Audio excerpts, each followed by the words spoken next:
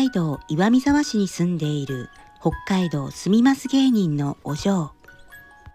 5歳の息子がいます。出産を経験して孤独な経験から同じ思いをしているママたちを救いたいと始めた子育て事業。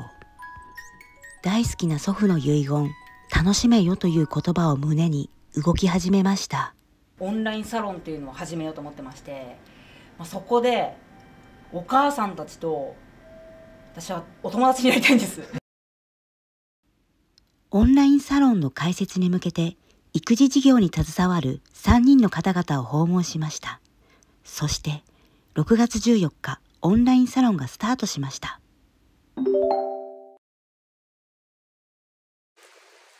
出産して私が孤独になって誰にも相談とかできなかったのでそういったお母さん方もこちらのお嬢のオンラインサロンでは自分の気持ちとかですねを打ち明けたりですね孤独にならないようにという思いも込めて作ったんですけども。そう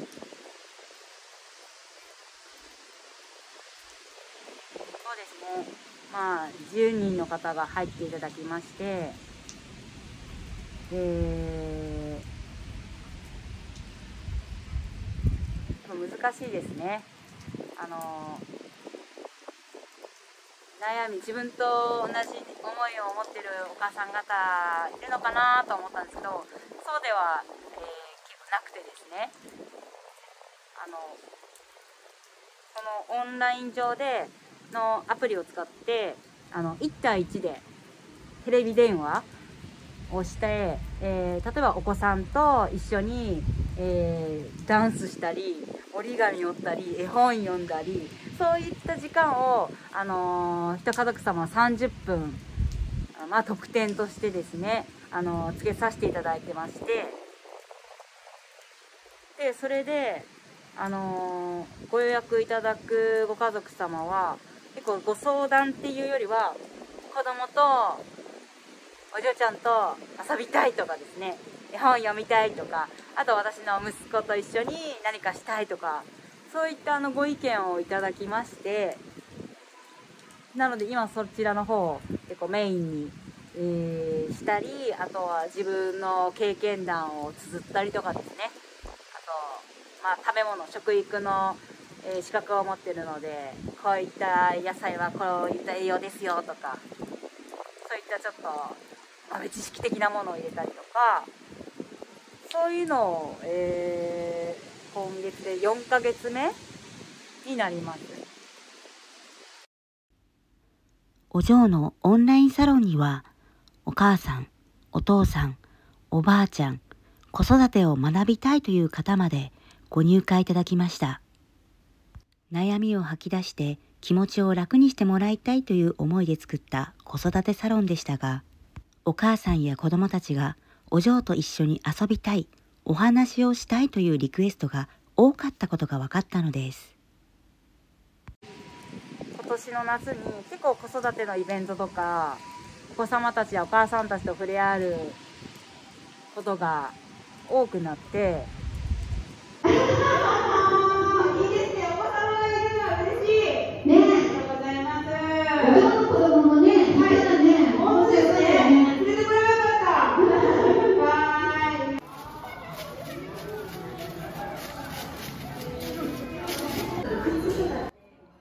サロンを開いてから数々のイベントを行ったのですが本来の目的であるお母さんやお父さんと子育てについてお話しするよりもいつしかお子さんたちと私が遊ぶ時間の方が多くなってしまっていたのです。ですがお子さんたちの遊びを通じてお母さんやお父さんたちとみんなで一緒に過ごすこの時間が私の中でとっても大事なことに気がつきました。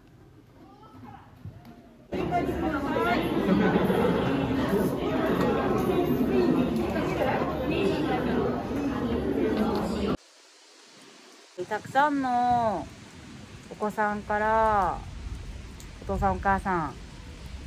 子供から大人まで集まっていただきましてみんなで笑って楽しめた空間になったと思うんですね。それをちょっとに3年ぶりに経験していややっぱこれだと。やっぱこれをしたいと思いました。私がやりたいのはやっぱりリアルな子育てサロンであってうん。会ってお話ししてみんなで一緒に遊んで、うん、子供たちや子育ての街全体がこう活性化につながったらとても嬉しいことですし、コロナ禍によって新しく開始したオンラインサロン。改めて分かったことは触れ合う時間の大切さでした。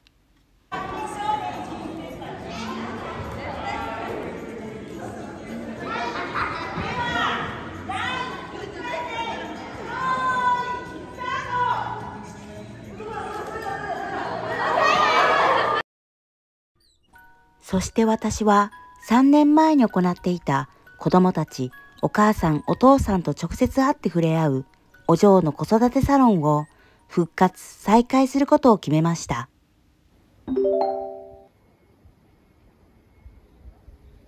の街を皆さんのお力も借りて子供から大人まで楽しめる場所を作りたいと思います。